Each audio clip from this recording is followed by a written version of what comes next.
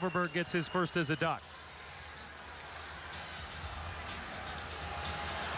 And if they wanted to put time back on the clock, they sure could because they just showed the replay here on the big board. And it puck went in with about five seconds left. Not like it matters.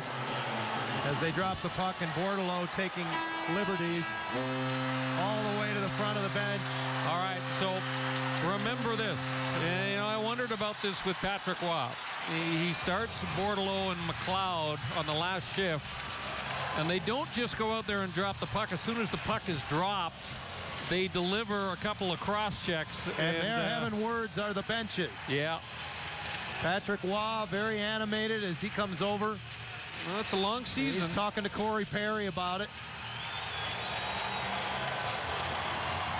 And this will be something to watch. There's two more games between these teams this season. We'll come back to Noah now. Look at this.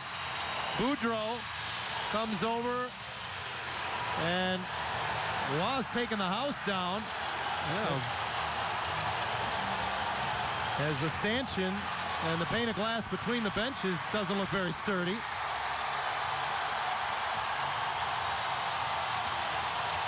In the meantime, there's still five players on the ice for both teams. Bordeleau having to be restrained. You know, I'll say this. I, I understand putting your tough guys on the ice. They got to know that they don't start something. Uh, it's showtime here at the Pepsi Center. It's a long season. And I, I, really question the way this game ended for the Colorado Avalanche. Well, if we watch the face-off again, watch Bordeleau. He goes right after Bonino, Right here. Look at him. He's not worried about, excuse me, Beleskey, not worried about the puck there. And then Fistric took exception.